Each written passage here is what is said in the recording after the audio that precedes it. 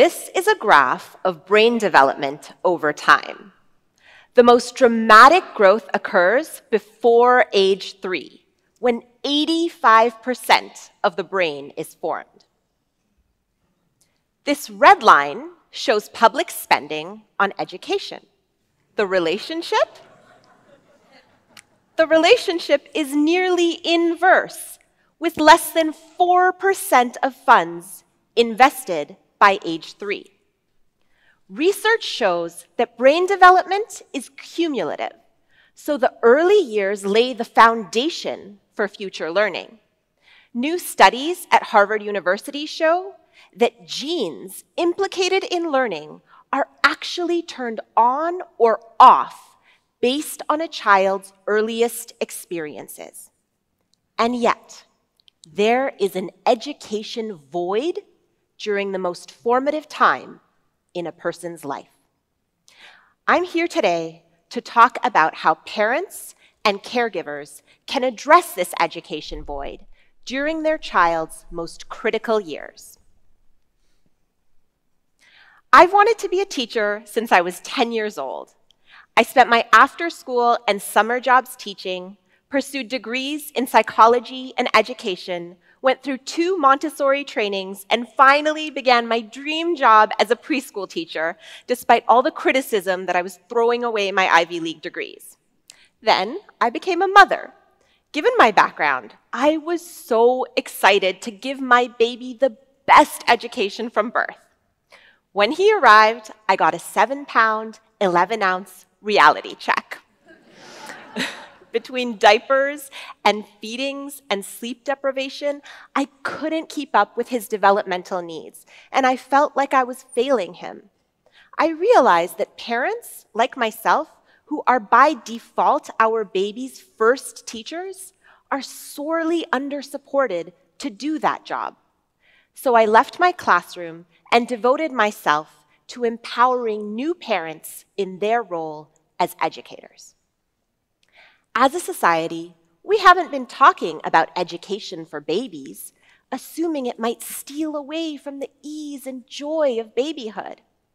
Toy industry advertising has colored our ideas of what babies should be learning. Decades ago, marketers at some of the biggest toy companies added letters and numbers to baby toys against the advice of their learning experts, simply because it sold more products. I want to be clear that education from birth to three is not about racing to academics like reading and math. Now is the time to draw from a compelling body of research and proven practices from infant toddler classrooms to define what education for babies looks like at its best.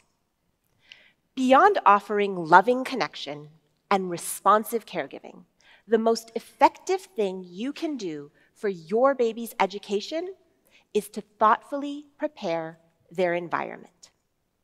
Babies are learning how to learn, so we make the most impact by helping them develop healthy learning habits, such as concentration and focus, perseverance and problem solving, creativity, and a love of learning.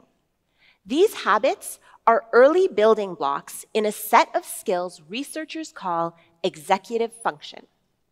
Executive function is what allows us to meet goals while managing our thoughts, emotions, and behavior.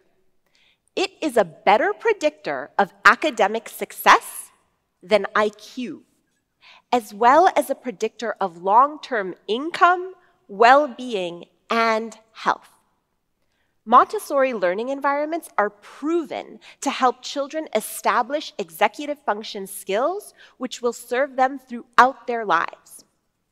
Preparing a learning environment for your baby at home one that is beautiful, inviting, and rich with experiences, does not have to be complicated. It starts with a low shelf and a few toys.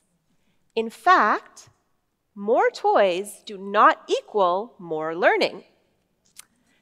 Just like an adult who finds it hard to focus on work when their office and desk are a mess, a child feels overwhelmed by an overflowing play area. Research shows that adults function better in orderly environments, and the same applies to children.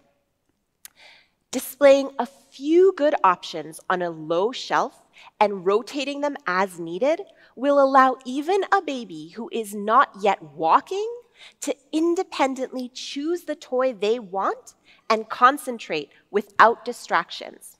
That's my youngest baby at 10 months old. If you want your baby to remain actively engaged during play, choose toys that are baby powered, not battery powered. Electronic toys with sounds and lights can put your child into passive mode, pushing a button and waiting to be entertained. Simple wooden toys, on the other hand, need a child to activate them, so they naturally invite engagement and creativity. Keep in mind that if you place both electronic and non-electronic toys on the same shelf, it's like offering your child a plate with junk food and brain food side by side. The best way to encourage healthy choices is to curate their environment. Beyond toys, we can create opportunities throughout our homes for babies to exercise executive function skills. Setting up a water cooler where a newly walking child can get a drink when they're thirsty not only allows them to practice their motor skills and independence,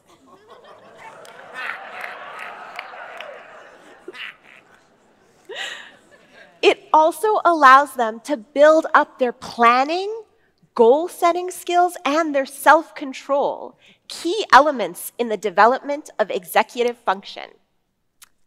We can build similar skills by hanging low hooks for their hats and jackets and providing a mirror at eye level so they can actively participate in dressing and caring for themselves. Observing your child in their environment will allow you to present the appropriate level of challenge to stretch their skills, not so little that they are bored and not so much that they give up. Research shows children thrive in this zone.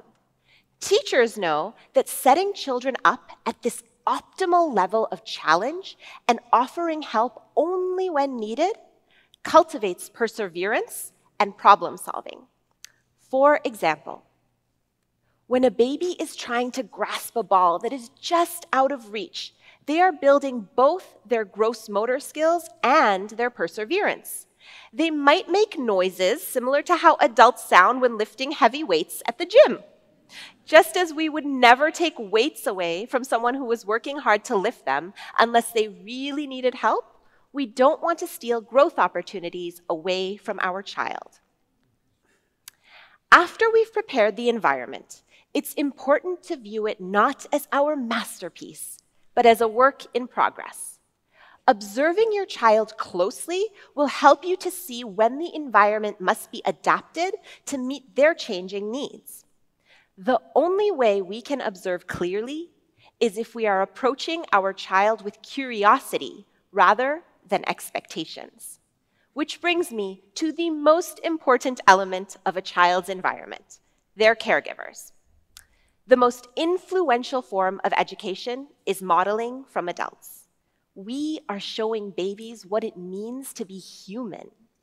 If we want them to love learning, we can model our excitement to explore and discover with them.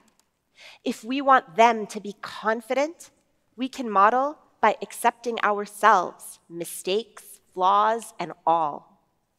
We make countless sacrifices for our children, but perhaps what they need even more is to see us being kind to ourselves so they grow up with permission to do the same.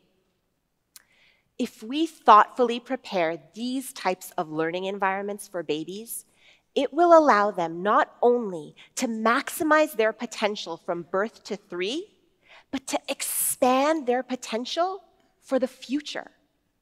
Personally, I can't wait to see what the next generation will do with that potential. Thank you.